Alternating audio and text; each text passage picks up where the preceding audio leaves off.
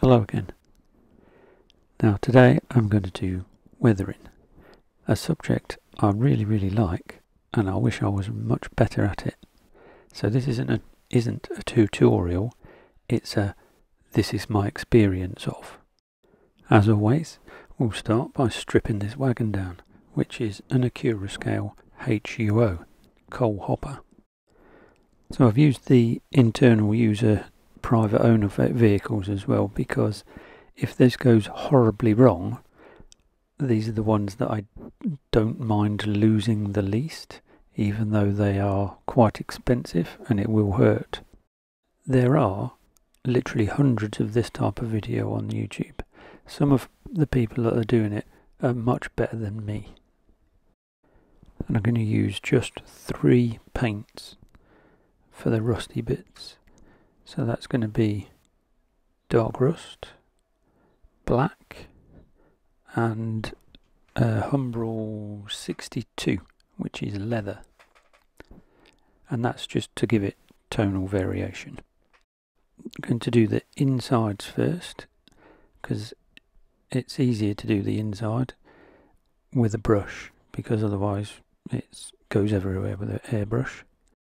Plus, when it gets when it's dried, you also get that streaking effect with the so long as you keep doing the brush strokes in a vertical direction. And it looks a lot better when it's dried. And this is where I take a big deep breath and go for the outside.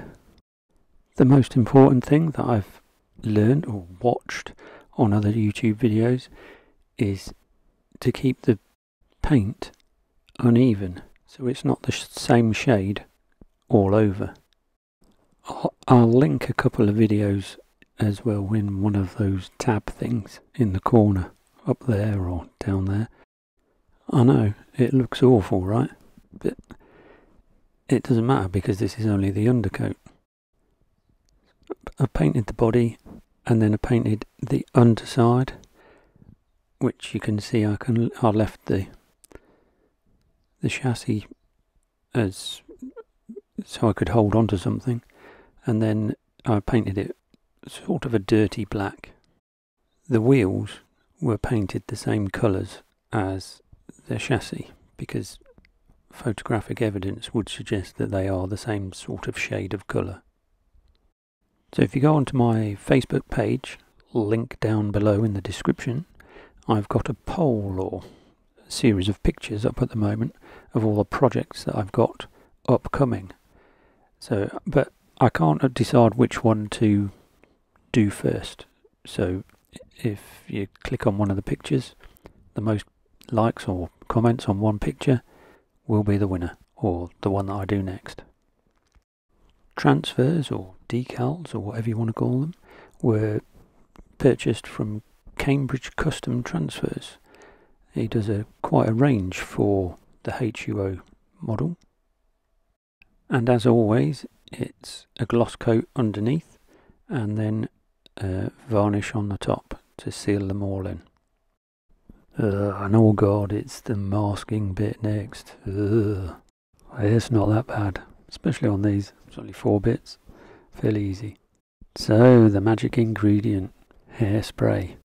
You can just spray it on straight from the can and I'll try to explain the mechanics behind it. So you spray it on, let it dry, and then do a second coat.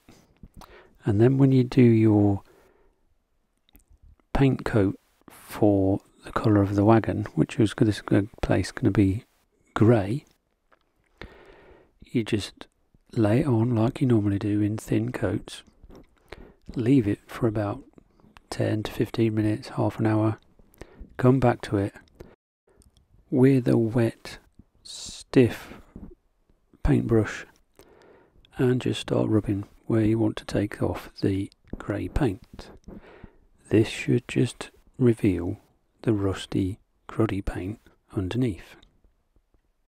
Because the water off the paintbrush soaks through the paint and then reactivates the hairspray underneath, which gives the peeled rust effect. So you can do as little or as much as you wish. Little, a little reveals little chips, and the more you do it, the bigger chip, the bigger chips there are. But I must stress, the grey paint or the paint that you want to chip off has to be water based, and in this case, it is MIG or Ammo by MIG. Uh, it's just their plain grey, which is the closest I could get to rail grey. Once I took the masking off the numbers lettering, and then went with another stiff brush, just dry brushing over that, just to pop out some rust spots in the lettering numbers. It looks a little bit harsh at the moment, but then I went over uh, everywhere with a dark wash, or it's more of a filter really. I put I, I put the wash at, at the very top and let it drain down, and then where it hadn't gone down, I just dragged it down with a flat brush to give that streaking effect. And as you could see, it does tone everything down quite nicely. And I'd just like to give a disclaimer. So, this is what I would uh, call a form of art. Now, art is very subjective. Not everybody will like it. But if you do, and you're happy with what you've done, then it's great. And the hardest thing to do is actually doing it. It takes a brave person to, well, do anything to an out of the box model. So this is me having a go. I'm not the best at it. I'm probably not the worst at it either, but that's, again, that's subjective. So, anyway.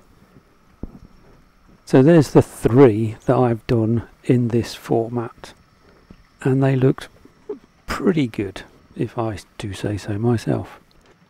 I'll be doing some more in the near future in a different format. So watch out for that one when it comes along. Thanks for watching. See you next time.